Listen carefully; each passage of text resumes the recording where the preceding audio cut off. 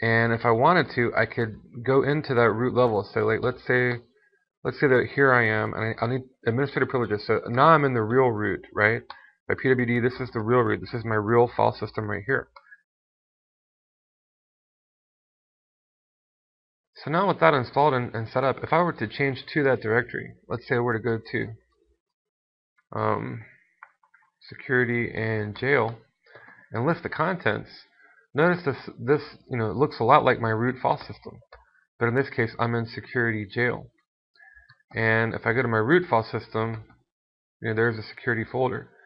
So if I want to, I'll use the chroot command with sudo and security jail.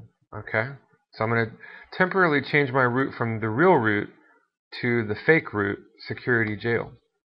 And when I do that, now look at the, if I list the contents, there's no security folder because I'm actually in the security forward slash jail folder, two subdirectories down. Um, but if I print my working directory, for all intents and purposes, the system thinks I'm in root. So I couldn't recurse out of it. I'm trapped, or I'm in jail, so to speak when I print my working directory. And that's great because now any program that I run here, any application, it's trapped or locked into this folder.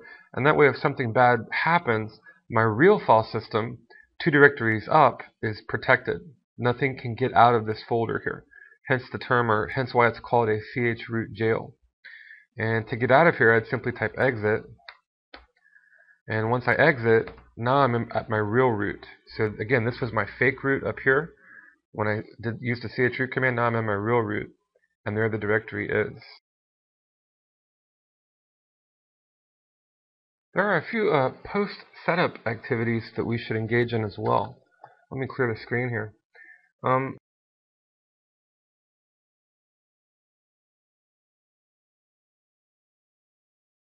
first off, if I want to manage uh, processes or you know list processes with the ps command or kill processes, then I'll need to mount, you know, basically I'll have to mount the uh, proc folder or directory file system in the chroot. Um, and the way to do that, you know, again, I could do uh, sudo mount.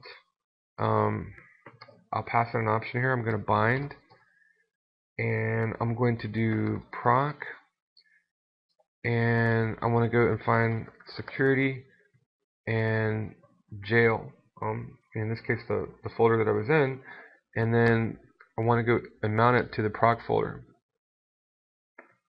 And again, if I list security jail, you know, so now it's mounted to the actual proc folder here inside the, the two subdirectories that comprise or hold my, my chroot jail.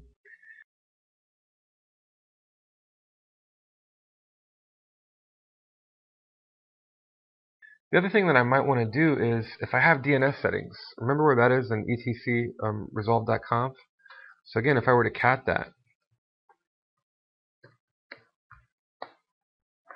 notice that, you know, in this case I'm using name servers here, and this was just automatically updated or added by Network Manager. But I want to copy that or implement that in my chroot jail as well.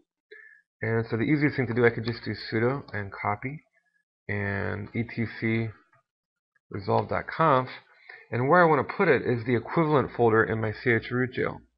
So that's security, jail, uh, there is an etc folder just like in my real file system, and resolv.conf.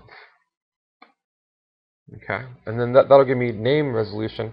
So let's say, you know, now I, if I want to, I can go into my, I can use the command chroot, sudo chroot, go into my root shell and run like Firefox or some other program, and still I'd be able to you know resolve host names, connect to the internet, that sort of thing.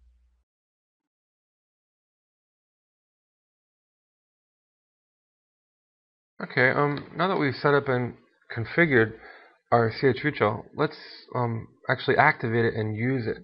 So I'm going to use the command sudo chroot. Um, well, actually, before I do this, again, take a look at my directory structure. Notice here's the security folder, and inside of security is the jail folder. So two subdirectories down, and then that's where the file system is for my chroot jail. So if I were to print working directory, this is root for me now with the security folder. Now watch what happens. sudo chroot, and I'm going to change my root to security and jail. And now when I do this, now look, if I list the contents, there's no security folder there like there was before. If I print the working directory, yeah, sure, I'm still at root, but that's not the real root. That's the that's illusion. Um, you know, that's that's deception because I'm actually stuck in a ch root jail. I can't recurse out of it, so anything that happens here stays here. And that means that my real file system is safe. Um, but for all intents and purposes, until I exit the shell, the, the system shell believes that this is root, and I can't go any, I can't recurse up or go up any further. But, you know, in reality, I'm actually in security forward slash jail. And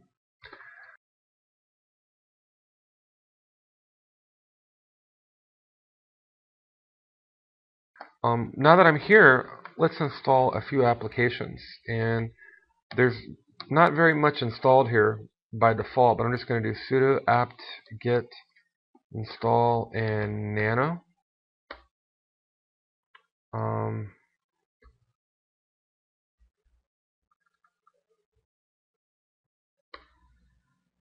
oops, haven't even installed sudo yet. So let me do apt-get install nano. Okay, um, that'll give me nano, and I, I, first thing, I need at least a couple of text editors, good grief. Um, and you may want to install 177 megabytes. I don't know if I want to wait that long. I'm going to go ahead and say yes, and we'll come back. I won't make you watch while all of these things download. Okay, I told you I wouldn't make you wait. So we finished downloading 177 megabytes worth of packages and files, and we're going to unpack them. So far we've installed Nano in our chroot jail, and we're setting up gedit in our chroot jail. So two text editors, and then the next thing I'm going to grab is some internet tools, so maybe Firefox and a BitTorrent client and GFTP or an FTP client. Typically, you know, things I would be using on a network or internet, again, where I might want to protect them with a chroot jail. Also, I'm thinking I may install Nmap, um, Netcat, SOCAT, and a couple other network tools in my chroot jail.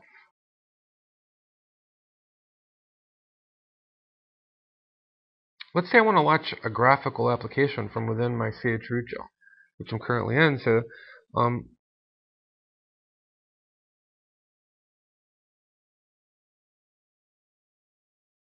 one of the things I could do is simply export uh, the display to my X server. So to do that, um, you could simply say export space display equals and then colon 0 dot 0.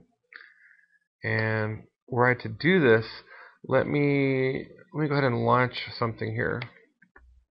I can launch Firefox.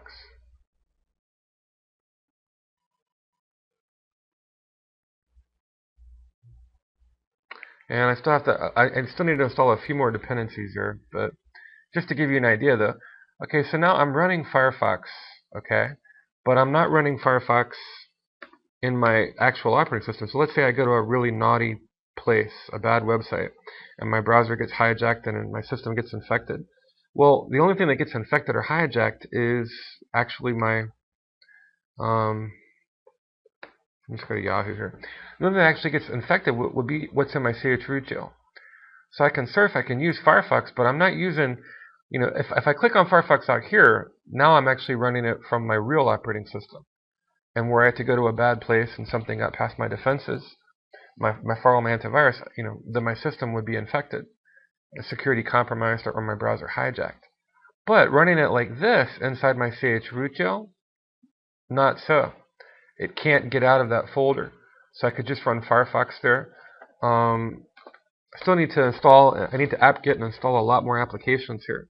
Um, if, if I wanted, I, you know, if, if I were willing to consume gigabytes of extra disk space, I could do an entire complete other operating system. But just to give you an idea of a few more applications, um, let me launch gedit. Okay, and then here's gedit, and the same thing here. In just a graphical application, I have not, I'm now exporting it to an X window, but I'm running it from within inside my chroot jail.